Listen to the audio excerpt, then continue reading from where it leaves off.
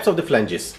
the type of the flanges, the most common types of flanges in SBB 16.5s are weld neck flange, slip-on flange, socket weld flange, lap joint flange, threaded flange, blind flange, weldo flange, or weldo or nippo flange, elbow flange, swivel flange, expander flanges, reducer flanges, or FS flanges.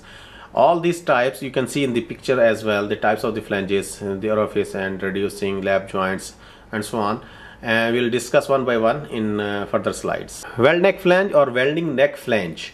A welding neck flange that normally represents as WN is having a long tapered hub neck that can be welded with pipe. This flange is used normally in a higher pressure and high or low temperature application that requires an unrestricted flow of fluid transported by the piping system. The absence of the the absence of the pressure drops prevents negative effects as turbulence and erosion slash corrosion of the metal in the proximity of the flange joints. The tapered hub allows a smooth distribution of the mechanical stresses between the pipe and the weld neck flange. This, this flange type will be welded to a pipe or fittings with a single full penetration V belt mean butt welded type. You can see in the picture the uh, point one where it's written one it's it, this is uh, the weld neck flange. Two it's a butt weld that is v type butt weld. And three is pipe or the fittings. I mean either you can connect the pipe or a fittings. So this is the most commonly used weld neck flange in the piping system particularly in oil and gas sector. Slip on flange. Slip on flange is connected to a pipe or a fittings by two fillet welds one executed inside and other one is the cavity of the flange. As you can see in the picture the point number one is uh, the slip-on flange. Point number two is the fillet weld outside. And point number three is the weld inside. So outside and inside uh, there is a pipe and it is uh, going to weld from both the sides. So the bore size of the of a slip-on flange is larger than the outside diameter of the connected pipe. As the pipe has to slide inside the flange to be connected by the execution of a fillet weld. Slip-on flanges are also defined as hubbed flanges and they are easy to recognize due to their slim and compact size. Socket weld flanges. Socket weld flanges are initially developed for use on a smaller size, higher pressure piping.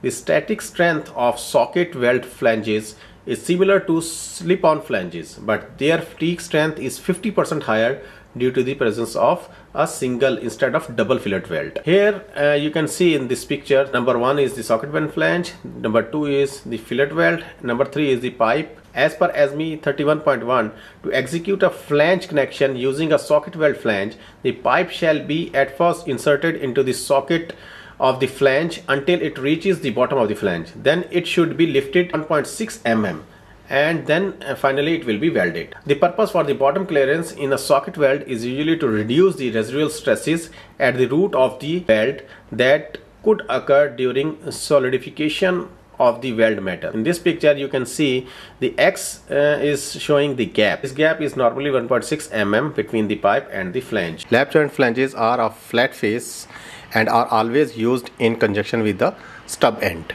Lap joint flanges resembles in shape like a slip-on flanges except for the radius at the crossing of the flange face and the bore to accommodate the flange portion of the stub end. A lap joint flanges slips over the pipe and seat on the back of the stub end and they too are kept together by the pressure of the bolts.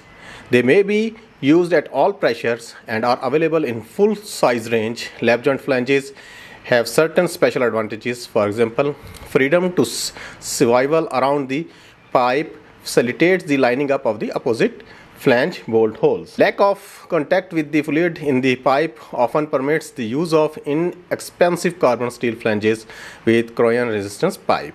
In system which erode or corrode quickly, flanges may be saved for reuse. As you can see in the picture, the point number one is the lap joint flanges, two is stub end, 3 is butt weld and 4 is pipe or fittings that is going to be welded with the uh, stub end and swivel flange is uh, easily rotate on the top of the stub end.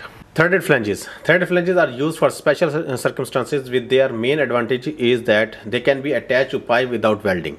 So threaded flanges are available in size up to 4 inch and multiple pressure rating. However, they are used mostly small size piping in low pressure and low temperature applications like water and air and utility services.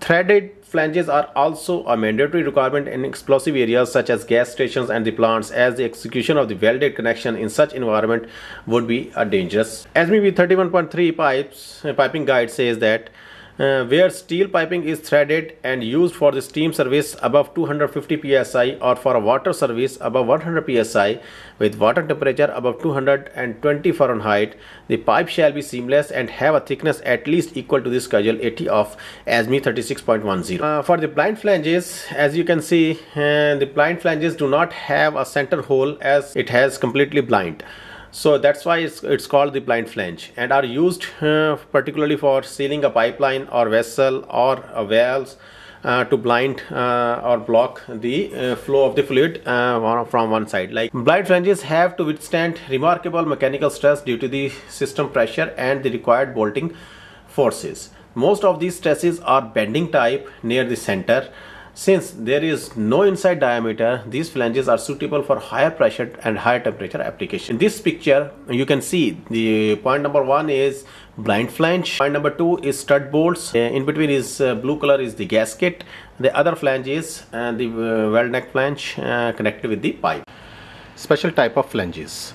Nippo flange. Nippo flange is a solid single piece of forged steel and not two different products welded together.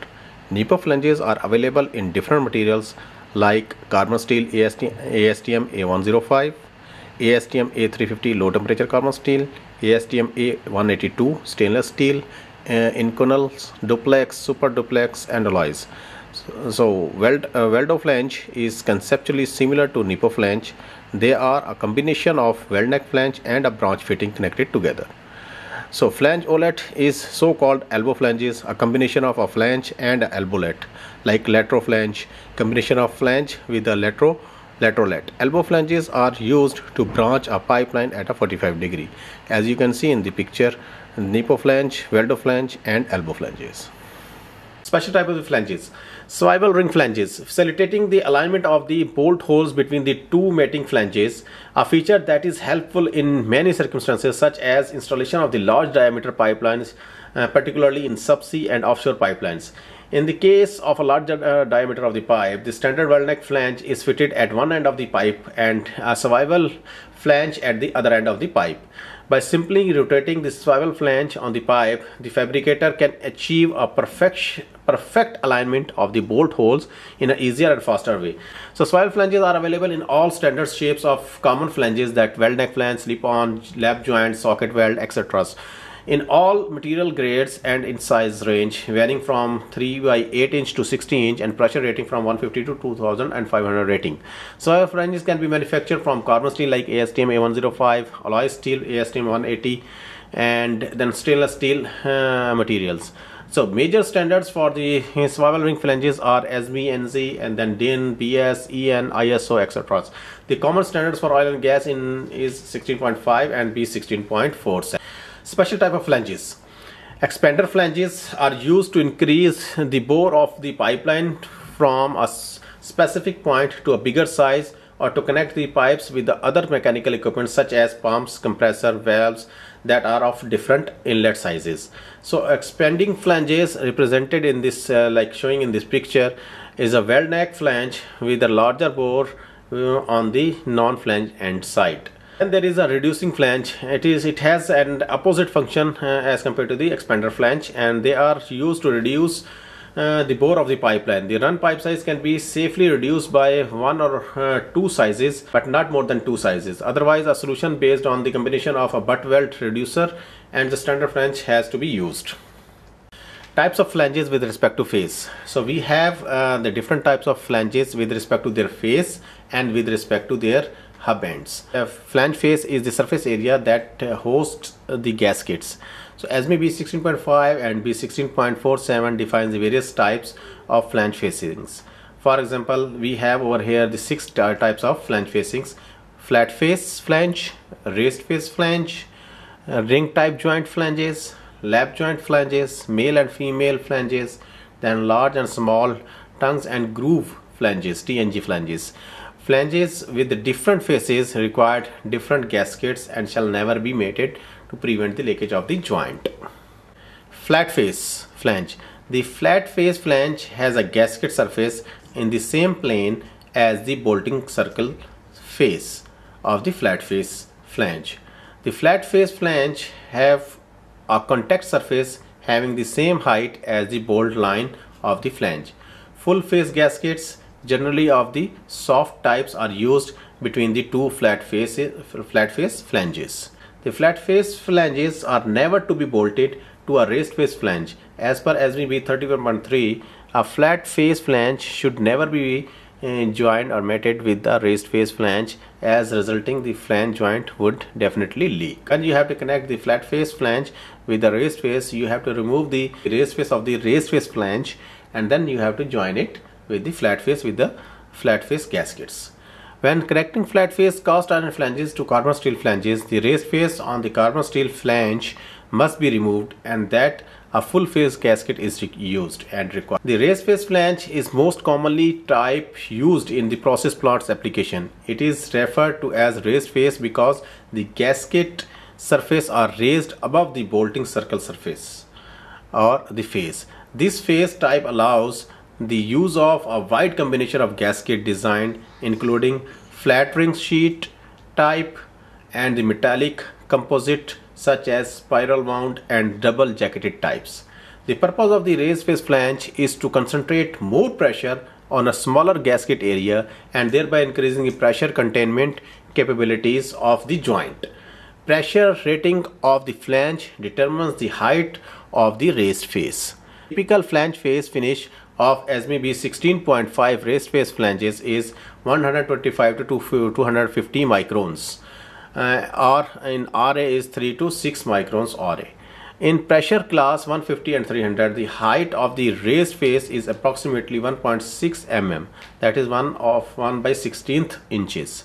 In pressure rating 400, 600, 900, 1500 and 2500, the height of raised face is approximately 6.4 mm. Ring type joints. The ring type joint flanges are typically used in higher pressure that is class 600 and higher and a higher temperature service above 800 degree Fahrenheit. They have grooves cut into their face with steel ring gasket.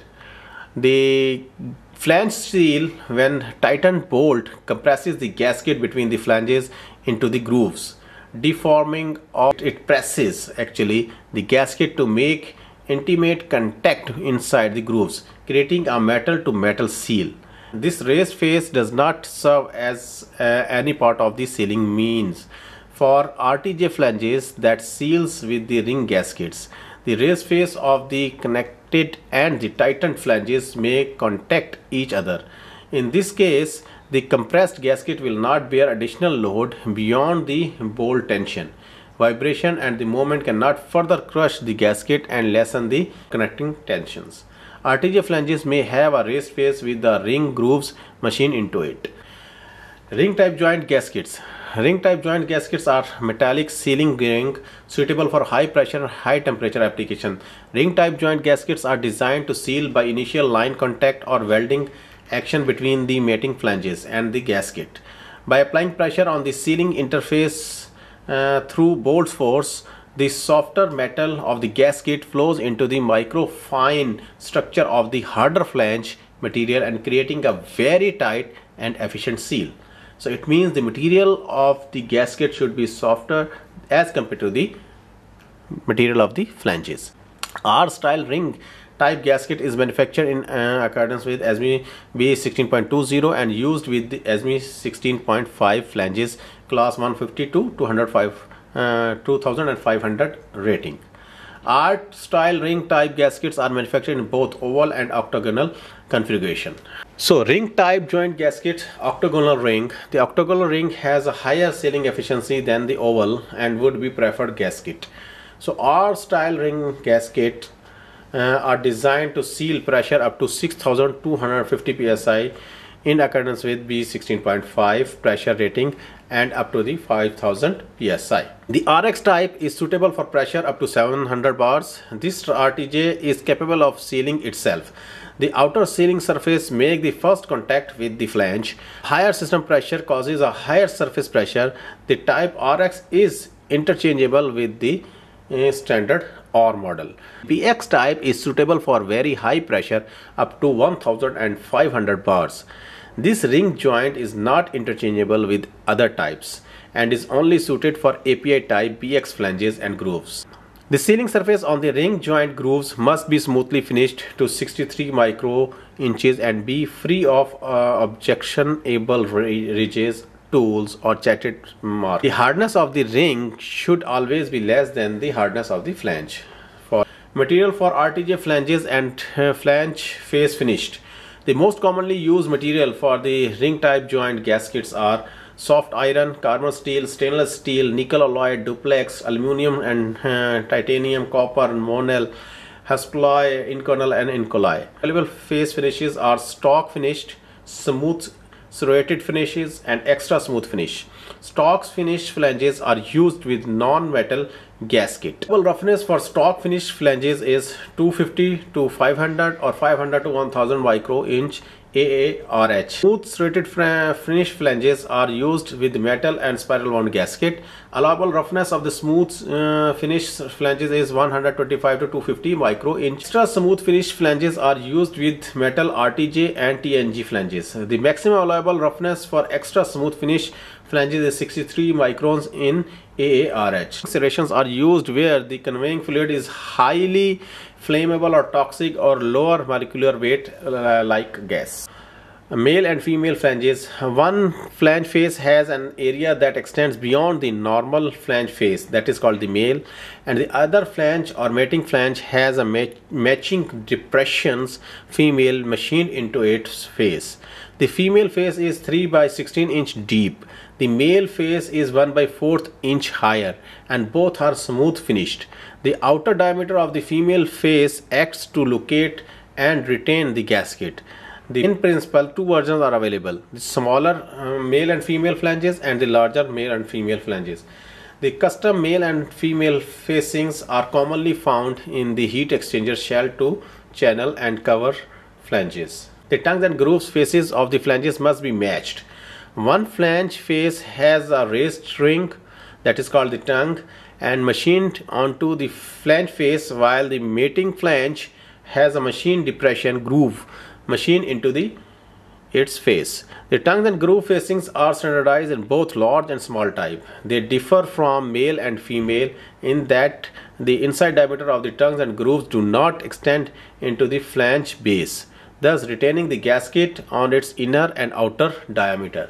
They are commonly found on pump covers and the valve bonnets. The tongues and grooves joints also have advantage in that they are self-aligning and act as a uh, reservoir for the adhesives. Flange faces such as RTJ, TNG and F&M shall never be bolted together. The reason behind it that the contact surface do not match and there is no gasket that has one type on the one side and another type on the other side. Thanks for watching. This is basic information about the piping flanges.